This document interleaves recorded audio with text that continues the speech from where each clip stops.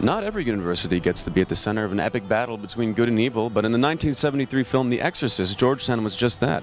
Here at the Exorcist Steps on Halloween Eve, hundreds gathered to commemorate what many consider to be the greatest horror film of all time, its filmmakers, and this iconic location. Fans from all over traveled to 36th and Prospect to get the chance to meet director William Friedkin and Academy Award winning screenwriter and Hoya, William Peter Blatty, who signed autographs and shared stories at the entrance of Car Barn. Shot in the latter months of 1972, the film captured the imagination of the Georgetown community and, for a time, turned the university into a bona fide Hollywood film set. The university rallied behind the production as students lined up to be extras and assist in the making of the film. 42 years later, that enthusiasm has yet to let up. Look how friendly this crowd is.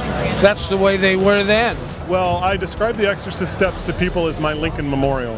Uh, when I have people who come to town to visit me, whether it be family or friends, I don't take them to the mall, I don't take them to the Smithsonian, I bring them here to Georgetown to the Exorcist Steps.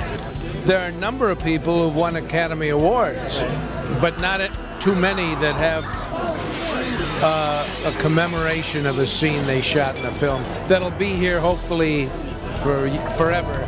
After meeting with fans, Friedkin and Blatty were honored at a ceremony at the bottom of the steps by Andrew Huff, Mayor Muriel Bowser, Ward 2 Councilmember Jack Evans, and President DeGioia, who offered remarks on behalf of the Georgetown community.